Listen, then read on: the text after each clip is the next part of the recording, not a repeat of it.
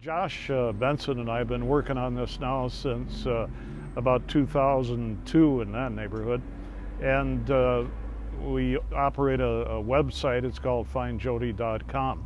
And it's a very popular website. It's one that attracts a lot of people who are interested in the case of the abduction of Jodi Huisentruit. She was abducted from her parking lot on her way to work in June of 1995. So we have this uh, uh, vast amount of information of people that we've interviewed, places we've been, uh, what other people have told us, and a lot of that we pass off to the authorities as well. But I think our site is probably the heaviest used, and uh, we like to think it's the most accurate site going. I could see at the end of last year that uh, uh, we needed something new. There has to be something to keep this story alive. And, uh, you know, we've tried everything we could think of.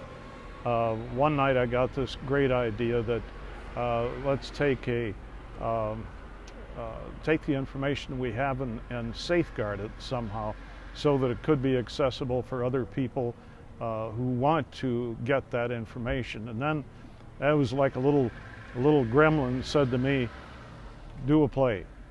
And I started thinking about doing a play and pretty soon I was talking to the Brave Community Theater and asking them about uh, a play, if they'd be interested in it, uh, about Jodi Huisentruit, and they jumped at the chance. So we're here tonight. We're going to be doing auditions for all of the different parts in the play. It's already scheduled for the last weekend in June and on four different nights. So should be an interesting time.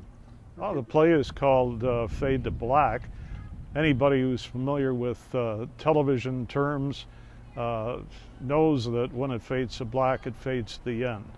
And uh, that's that's the name of the of the play, and uh, it's going to have some surprise pieces in there, some surprise. It's going to be well. a very unusual presentation from the standpoint of uh, the actors and their experience with it, and performing something that's a true story, obviously, and one that has such a intriguing history.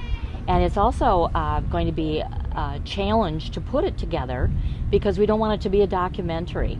And so, what I've been able to do is take all the information, which is very substantial, that Gary's given to me, and that's like the hard news. And what I'm doing is putting it together into a theatrical presentation and adding some softness and some, I hope, um, more personalization of the story.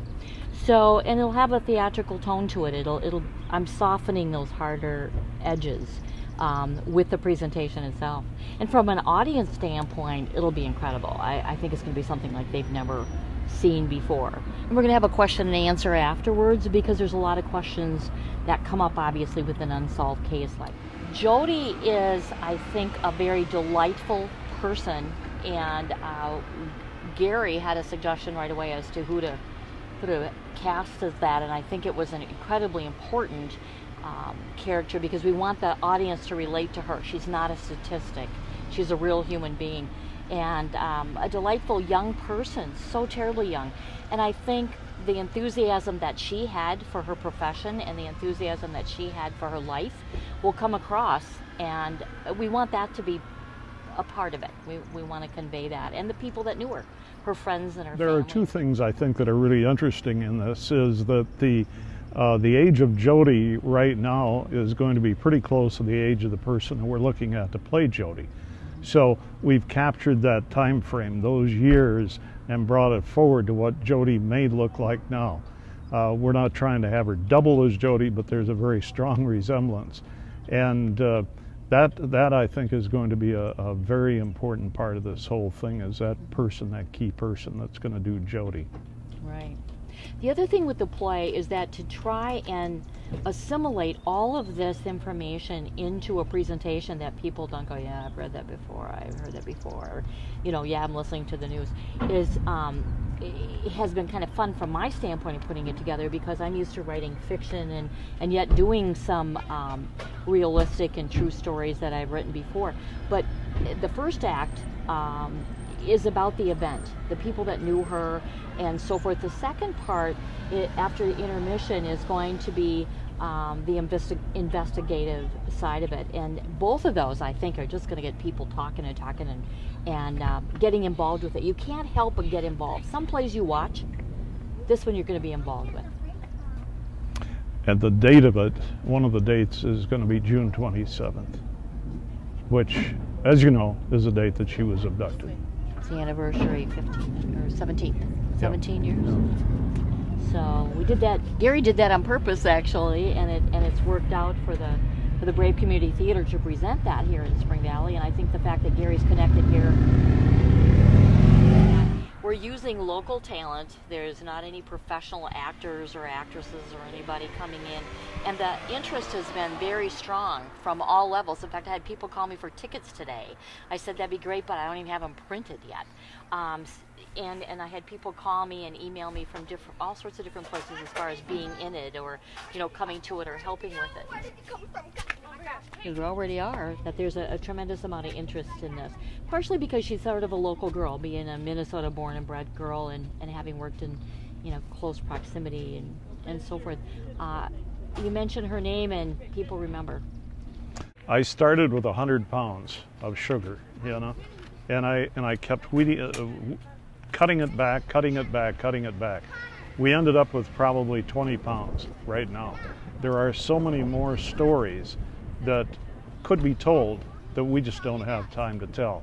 Or but, we can't uh, tell. Or we can tell. As you know, it is an open homicide case. This is still an active case in Mason City, Iowa. It isn't something that's just a figment of somebody's imagination that put together a bunch of facts. It is a homicide case. Uh, as you know, it is an active homicide, and it's uh, an active one with the Mason City Police Department and Cerro Gordo County Sheriff DCI. So any information that comes in is passed on to them unless it's uh, definitely something that we've looked at before and put it aside.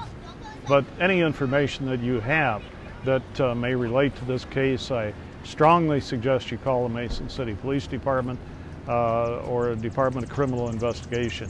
The case can't be settled. We cannot let this go unsolved Four pages, so I didn't even know what. Right, and you have a script. And But she's got hers marked in Well, it looks like, themselves, and um, it's just, just been interesting. And so I think until you actually have to learn lines, um, first thing I have you do is I think I have all your contact information. We'll be putting it all together. And so I thought Sunday, Monday, Tuesday, um, three of those to put the whole thing together with tech should be fine. Now we might be rehearsing as a group some other time, but it won't be like on a regular um, rehearsal schedule for a normal play. Intermission. So even with the intermission, I think we figured an hour and a half, hour and 45 minutes. It's going to go at least that long. Without the question and answer. Okay. Only here at times and would like to have someone to share my life with. Sure, uh, I meet men, but none that really strikes me or who follow through. Halloween, 1994. Jodi met a neighbor who lived at Key Apartments. John Van Sice, a 40-year-old man who moved to Mason City from Newton, Iowa after getting a divorce from his wife, Rowena. He had been fired from his job as a seed corn salesman there, and he went to work for Pfizer Genetics in Mason City. I had to ask one of the neighbors who that cute girl was that was riding her moped in shorts, and I told her her name, and I was told her name was Jodi Huisentruit, and she was a news anchor. I knew one of the apartment residents had his eye on me. I met John on Halloween. He was a seed corn salesman and traveled all over. He also said that he liked to water ski and maybe we could go together sometime. I told him I had several friends that liked to water ski, and he said I should ask them along. I think John had money, or at least he acted like it. John played the role with gusto. He purchased a boat. He had Jodi's name painted on the back of it. It was quite a sight when John got all the girls in his $26,000 boat. John and I never really dated as such. It was always more of a planned gathering at the OP bar. That's where everyone from the TV station would gather and drink beer. I made friends with many new and exciting people. John always picked up my tab and sometimes we would dance right there in the bar. John loved to show me off. I'm starting fresh at work this week, getting up at 3 a.m. Best newscast in the world. Top 10 markets. I really think I'll market myself for Arizona. See what they think about my accent, or I'll move down there to produce. On March, John Van Sice moved out of the Key Apartments and into a duplex that he had recently purchased. It is located at 510 and a half Sixth Street, Southeast in Mason City. I met Jodi in Iowa City after we attended a Chamber of Commerce luncheon event. We love to party together, and since neither of us like to cook, we love to eat at different restaurants. Jodi's favorite place, I believe, uh, believe it or not, was Bonanza. You know, the big all-you-can-eat buffet. She could eat so much and never seemed to gain a pound. Jodi made many friends. She was an outgoing person and had many male admirers. Many times, she was the object of disagreements between several guys. to Bill's children. During, At a lounge, wild. It was in Clear Lake. They had a 16 gallon keg, huge keg with a skier, so much left. John Van Sice grilled 150 pork burgers. We were dancing on tables, dancing everywhere. Everyone had a ball. Video camera was rolling, cameras were clicking. Oh, what fun. Life is so good. The party made me feel so good. Last night, June 12, 1995, John and I went to the Glenn Miller Orchestra in Belmond. I have so many great viewers. People are so kind. This nice weather has me wild. I bought a new Mazda Miata. Simply love it. July 1st, Sleeper says Huisentruit disappearance is being treated as an abdu- abduction. He says people saw a white van in the parking lot of her complex and heard a scream about the time she, she vanished. A reward fund reaches $11,000. July 2nd, investigators use helicopters to search Mason City and an area southwest of the city. Huisentruit's friends and her family join other worshipers for Sunday service at a Mason City church. Late in the day on July 3rd, police call off the ground and air search for Huisentruit, but say they'll continue interviews. July 6th. A Mason City martial arts instructor says Huisentruit attended a self-defense course he taught in March. Sonny Ono says Huisentruit told him she'd had an incident a few months back that she wasn't comfortable with. July 10th. Sleeper says an FBI behavioral scientist is trying to determine if the Huisentruit case is linked with other disappearances of young women in the region. He says investigators have received more than 700 tips, but no significant leads. To the police department, this was the beginning of what was to later prove to be the biggest case in Mason City Police Department history. July 25th.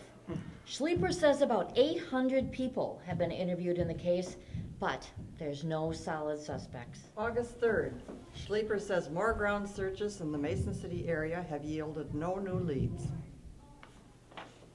It's clear the culprit was watching Huisentruit and knew her behavior patterns. Doug Murbach, KIMT News Director, says the station has not hired a replacement for Huisentruit and officially lists her as on leave. About 250 people attended a candlelight vigil for Huisentruit at a Mason City swimming pool. Businesses throughout the city continue to display yellow ribbons and find Jodi signs. On September 8th, Huisentruit family from Minnesota say they've hired a private investigator. Mason City Police continue to investigate leads and rumors.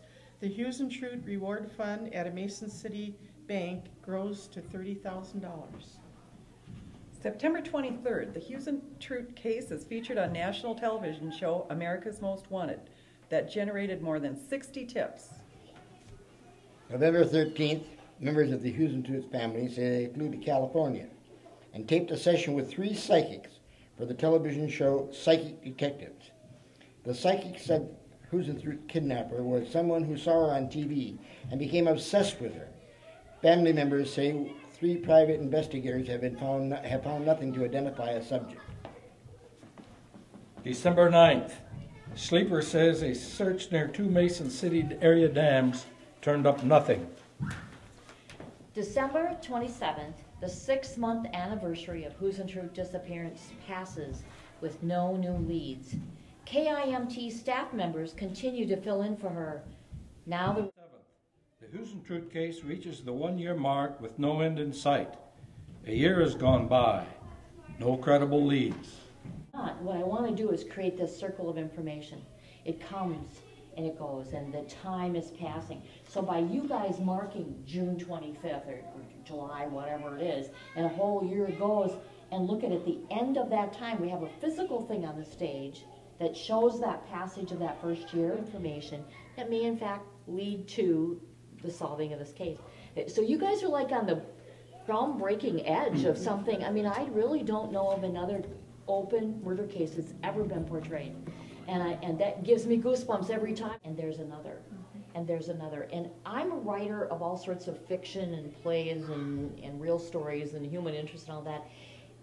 And I've read a ton of mystery um, novels. I don't think you could write this because there's so many connections and so many pieces of it that, like Gary said, this is another piece in the puzzle, the information that we got, which, you know, someday it'll be a full puzzle, I hope. But um, that's the thing, that's the challenge as actors that we have to bring out, is we have to keep it interesting.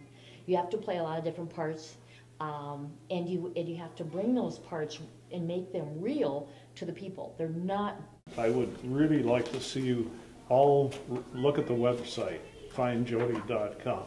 Look at it. You can go to all the stories that we did when we were at Channel 6, uh, Josh and Borland myself. And uh, we look at those and we piece together all the different personalities. So as actors, you will look at that and you'll find the role that you're probably going to be playing and look at it. Uh, grind it in. Start to think like that person. Think like, uh, you know, try to put yourself in the place of, of Jodi or John Van Sice or the police chief or somebody like that. They've all got different personalities. And it's, it's very important that you understand not just reading words in a script, but you actually say, hey, I'm feeling that part of the story. I've got that down. I know what this person is like. And once you get to that point, you're going to find it's, it's terribly exciting. And you're going to say, it's 8.20 on Sunday night. I'm not going to answer that phone call. but uh, do that. Look at that site because